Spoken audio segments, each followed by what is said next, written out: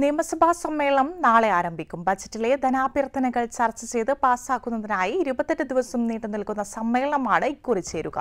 ഭരണവിരുദ്ധ വികാരം ലോക്സഭാ തെരഞ്ഞെടുപ്പിൽ കനത്ത തിരിച്ചടി നൽകിയെന്ന് സി പി എമ്മും ഇടതുമുന്നണിയും പ്രതിപക്ഷവും ഒരുപോലെ വിമർശിക്കുമ്പോഴാണ് പിണറായി സർക്കാർ വീണ്ടും സഭയിലെത്തുന്നത്. തെരഞ്ഞെടുപ്പിലെ ഉജ്ജ്വല വിജയവുമായി വർദ്ധിത വീര്യത്തോടെ സഭയിലെത്തുന്ന പ്രതിപക്ഷം ബാർക്കോഴ ഉൾപ്പെടെയുള്ള വിവാദങ്ങളിൽ സർക്കാരിനെ കുരിശിലേറ്റുന്നതോടെ സഭ ഇക്കുറി പ്രക്ഷുബ്ധമാകും. ഇരുപത്തിയെട്ട് ദിവസം നീണ്ടു നിൽക്കുന്ന പതിനഞ്ചാം കേരള നിയമസഭയുടെ പതിനൊന്നാം സമ്മേളനമാണ് നാളെ ആരംഭിക്കുന്നത്. ബഡ്ജറ്റിലെ ധനാഭ്യർത്ഥനകൾ ചർച്ച ചെയ്ത് പാസാക്കുന്നതിനായിട്ടാണ് ജൂലൈ ഇരുപത്തിയഞ്ച് വരെ നീണ്ടു നിൽക്കുന്ന സമ്മേളനം ചേരുക. ലോക്സഭാ തിരഞ്ഞെടുപ്പിൽ വിജയിച്ച മന്ത്രി കെ രാധാകൃഷ്ണനും ഷാഫി പറമ്പിലിനും ജൂൺ പതിനേഴ് വരെ സഭയിൽ തുടരുവാൻ അവകാശമുണ്ടെന്ന് സ്പീക്കർ അറിയിച്ചു. നാളെ സഭ ചേരുമ്പോൾ പാർലമെന്ററി കാര്യ മന്ത്രിയായി കെ രാധാകൃഷ്ണൻ സഭയിൽ ഉണ്ടാകുമെന്നാണ് സ്പീക്കർ അറിയിച്ചിരിക്കുന്നത്. ഗവർണർ നിരാകരിച്ച തദ്ദേശ സ്വയംഭരണ വാർഡ് വിഭജന ഓർഡിനൻസിന് പകരമുള്ള ബില്ല് ആദ്യ ദിനം തന്നെ സഭയിലെത്തും.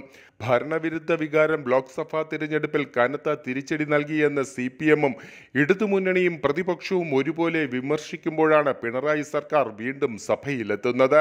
തിരഞ്ഞെടുപ്പിലെ ഉജ്ജ്വല വിജയവുമായി വർദ്ധിത വീര്യത്തോടെ സഭയിലെത്തുന്ന പ്രതിപക്ഷം ബാർക്കോഴ ഉൾപ്പെടെയുള്ള വിവാദങ്ങളിൽ സർക്കാരിനെ കുരിശിലേറ്റുന്നതോടെ സഭ ഇക്കുറിയും പ്രക്ഷുബ്ധമാകുമെന്നുറപ്പാണ് ബാർക്കോഴയിൽ ജുഡീഷ്യൽ അന്വേഷണം ആവശ്യപ്പെട്ട് യു ഡി എഫ് പന്ത്രണ്ടാം തീയതി നിയമസഭയിലേക്ക് മാർച്ചും പ്രഖ്യാപിച്ചിട്ടുണ്ട്. ബജറ്റിലെ ധനാഭ്യർത്ഥനകളിലുള്ള ചർച്ചയിൽ ഉടനീളം സർക്കാരിന്റെ സാമ്പത്തിക പ്രതിസന്ധിക്കെതിരെയുള്ള കനത്ത വിമർശനങ്ങൾ അലയടിക്കും. സർക്കാർ ആശുപത്രികളിലെ ചികിത്സാ പിഴവും ആരോഗ്യ മേഖലയിലെ വീഴ്ചകളും ഗുണ്ടാമാഫിയ അതിക്രമവും ചൂടേറിയ ചർച്ചയ്ക്ക് കളമൊരുക്കും.